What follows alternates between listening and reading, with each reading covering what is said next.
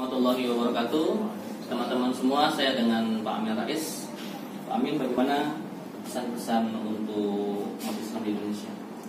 Ya, pertama pegang tauhid. Tauhid adalah esensi dari agama kita. La ilaha illallah itu lebih berat dari alam semesta. Yang kedua, mari kita beramal soleh sebagai ekspresi tauhid kita itu berbuat baik kepada masyarakat, membela bangsa, membela negara. Itu juga ekspresi dari tauhid.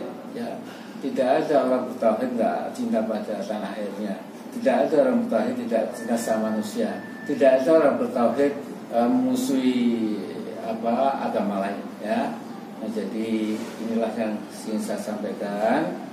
Islam kita punya Allah satu, Nabi kita Muhammad SAW, Quran kita satu, kiblat kita satu, ya, Insya Allah selama kita saling tasamuh, saling ta'awun, saling kuat perkuat, ya, Insya Allah yang di atas akan berikan pertolongan. Dan saya senang sekali hari ini bertemu dengan Ustadz muda, ya, yang ekonom, ya sastra Prancis lagi, gitu.